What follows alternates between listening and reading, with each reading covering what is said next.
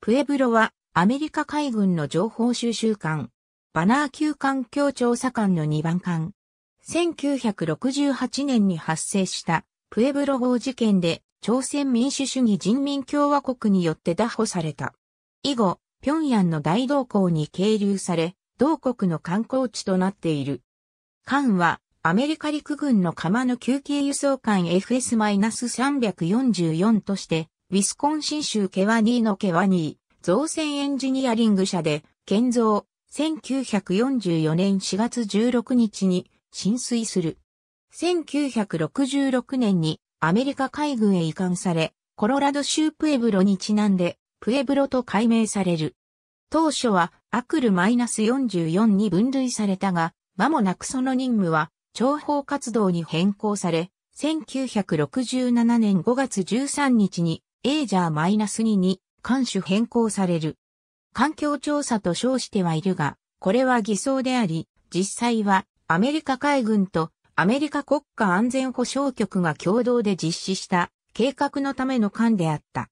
1968年1月、元山沖で作戦行動中だったプエブロは北朝鮮側によって拿捕され、乗組員も拘束された。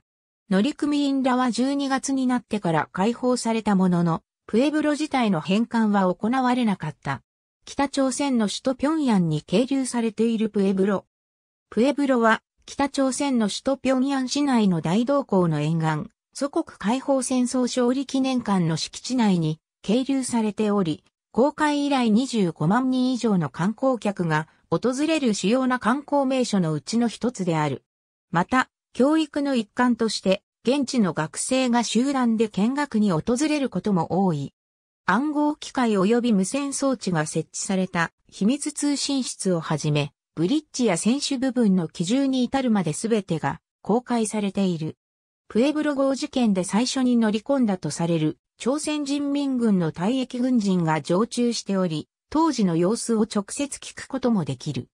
また、船内では艦を打破した経緯を説明する、当時の映像を交えた15部の DVD を見ることになる。北朝鮮による反米プロパガンダの場ということもあり、艦の内外での写真撮影に特に制限はない。ありがとうございます。